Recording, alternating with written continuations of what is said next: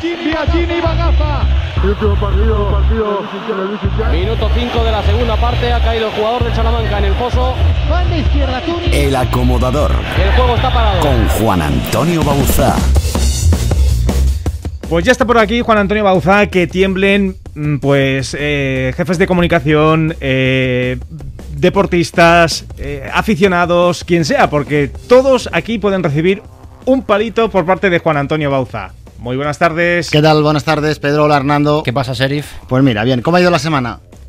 Bien. Ah, me lo dices a mí, bien. Bueno, a vosotros en general. Perfecto. Por cierto, que no todos son palos, ¿eh? Os recuerdo que esto empezamos con enviando a gente al palco también. Siete Sí, días y ya sabéis sí. que a gastos pagados. Es verdad. Bueno, semana tranquilita, ya al menos por mi parte. Me ha gustado, por cierto, mucho la entrevista a Jaume Costa. Un poquito de lío ha habido esta semana ahí, el miércoles esperando para escuchar, pero nada, malentendido y listo. Así Mejor que- tarde que nunca. Sí, ya lo hemos arreglado y lo hemos escuchado. Os digo, hoy la cosa va de entrenadores. Siempre es igual, ¿eh? Es que no, no, no aprendéis. Tranquilo, mister, que usted, usted lleva ya dos semanas fuera del foso y hoy tampoco le toca, así que seguro que se queda más tranquilo, ¿no? No mucho, Bueno, se lo prometo. Por cierto, ¿qué tal está? bastante bien. ¿eh? Bueno, pues mira, me alegro.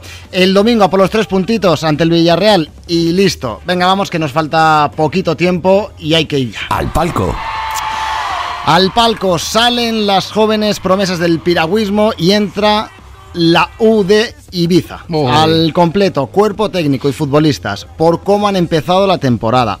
Que igual miras la clasificación ¿eh? y dices, bueno, pues van octavos, pero es que todavía no han perdido ningún partido. Los únicos, junto con el líder, el Sporting y el Tenerife. Eso es. Debutan en la categoría este año, jugando muy muy bien, e incluso con un poco de mala suerte, diría yo, porque algunos de esos cuatro empates que lleva podrían haber sido tranquilamente una victoria. Pero bueno, que van por el buen camino, hombre, y que creo que es justo reconocerlo. Así que, como siempre decimos, a gastos pagados. Págala ser. En este Mer- caso... merecido. Sí, sí, no, Está bien además- económicamente la de Ibiza, ¿eh? que no hagan mucho dispendio. bueno, pero es que quien está mejor económicamente, que es el que va a pagar estos siete días en el palco, es nuestro compañero de Ibiza, Joan Tour, que es el que de verdad maneja allí en la isla. Oh. Se quedan una semana en el palco todos los integrantes de la U de Ibiza. ¿Te parece bien, Joan? Un placer, hasta luego. Pues mira, le parece un placer, así que hasta luego, Joan. Eh, seguimos A la grada. a la grada. Aquí aprovechando que el aforo es amplio y que cada vez podemos meter a más gente, vamos a colocar hoy a todos aquellos niños y niñas que a partir de esta semana y de forma progresiva inician ya su temporada en las categorías base de todos los deportes. No solo hablamos de fútbol y baloncesto, hablamos balonmano, voleibol, atletismo, de todos. Judo. Porque judo, por ejemplo, porque sí, porque es un síntoma de relativa normalidad, que todo vuelve a parecerse a lo que teníamos antes de la pandemia. Así que creo que se merecen nuestro reconocimiento porque han estado mucho tiempo y meses compitiendo los niños a medio gas sin hacer lo que más les gusta y parece, cruzamos los dedos, que esta temporada va a ser muy parecido ya a lo que teníamos en 2019. Así que, por mi parte, desde aquí nuestro apoyo y desde aquí les mandamos a ellos a la grada. Pues sí, un aplauso. Venga, te voy a... Ya ha dejado su huevito. Como padre ha dejado su huevito. Medio aplauso, ¿eh? Solo Hernando. Sí, Hernando no le Bueno, convence. el otro medio para Alfoso. Venga, seguimos. Al foso. Venga, pues Alfonso, aquí ya sabéis que todo aquel que entra lo hace hasta que básicamente enmienda su error o la acción que le ha llevado a acabar aquí en el foso. Luis García, el entrenador del Mallorca, por ejemplo, solo estuvo una semana. Pero los que van a seguir hasta que el domingo demuestren lo contrario son los que entraron la semana pasada. 3.742 Oy. personas, aquellos socios y socias del Mallorca que en las dos primeras jornadas no fueron al campo. Podían haber ido y no fueron. Podían haber cedido su abono, tampoco lo hicieron. Así que ellos siguen allí metidos. Tranquilidad, por favor, tranquilidad. No, no, no, estamos muy tranquilos.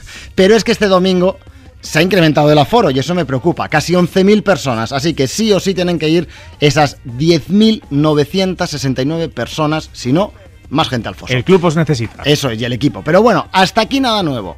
Ahora sí haces sitio que hoy se va más gente. Uy. Es más, hoy va un entrenador. Uy. En este caso, ex entrenador del Mallorca. No me lo creo. Sí, y ahora, ahora rival directo por la permanencia. Ay, creo que sé quién es. Hay que hablar Valencia. Hablamos, sí, exacto, de Vicente Moreno. no siempre se ven 10 minutos en, en un, en un partido ¿no? de, de- de descuento, pero ya digo que, que totalmente respetuoso en la decisión de- del árbitro de añadir 10. Eh, esperemos que siempre sea igual eh, cuando nos interesa a nosotros o, o venga a favor nuestro. ¿no? Así que una semana en la llorería, perdón, en la llorería, en el foso, Vicente Moreno. E incluso podríamos meter al responsable de las redes sociales de los Pericos. No sé si has pensado en que está con muchos aficionados del Mallorca Vicente Moreno en el foso. No sé si es demasiado peligroso. Bueno, igual, pues veremos a ver qué pasa Ahí ahí. lo dejo. Os explico muy rápido ¿eh? lo que pasó. Fin de semana pasado, Español Atlético de Madrid, minuto 90, 1-1. Y se añaden 10 minutos. Sí. En el 99 marca el Atleti. Y ahí, venga a llorar.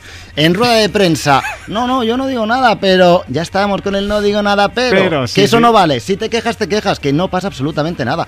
Además, basta ver las imágenes para ver esa risita irónica de Vicente Moreno cuando ve 10 minutos en la tablilla, que sí que es raro. Pero bueno, basta eso para darse cuenta de que, bueno, pues algo, algo sí que le importa. Al poco tiempo, luego encima en redes sociales, mensajito también para presionar. Pero vamos a ver. Que es que igual yo me estoy equivocando. Si me equivoco, si no lo digo bien, me corregís, que vosotros sois los que sabéis. Pero en esos 10 minutos de añadido, ¿solo jugaba el Atlético de Madrid? Claro. ¿O el español también podía jugar?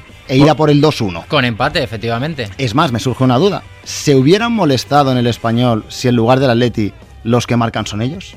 Así que bueno, pues ahí lo dejo y que cada uno piense La lo que respuesta quiera. es clara, creo yo, ¿eh? Por cierto, eh, me marcho ya porque me queda nada poco de tiempo, pero sí que te quería preguntar, Pedro, que qué tal esta semana, que has estado ahí con uno de los grandes, has estado con, con Rafa Nadal en Manacor.